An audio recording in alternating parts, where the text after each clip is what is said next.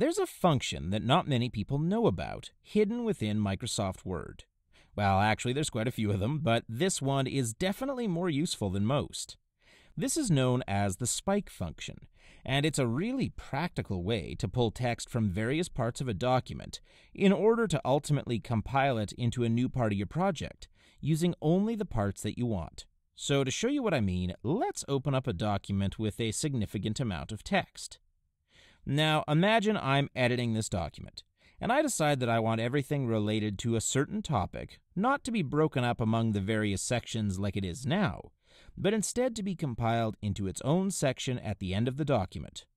Normally, I'd have to go into each section, like this, cut out the information that I want moved, scroll down to the destination, paste it, and then repeat that as many times as I have to throughout the document.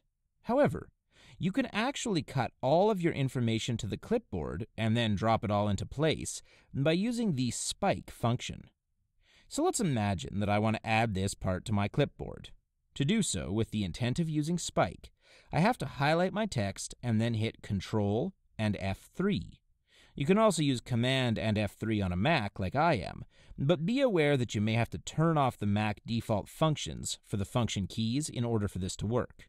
After I hit Command F3, it cuts the text away, but I don't have to immediately scroll down and paste it.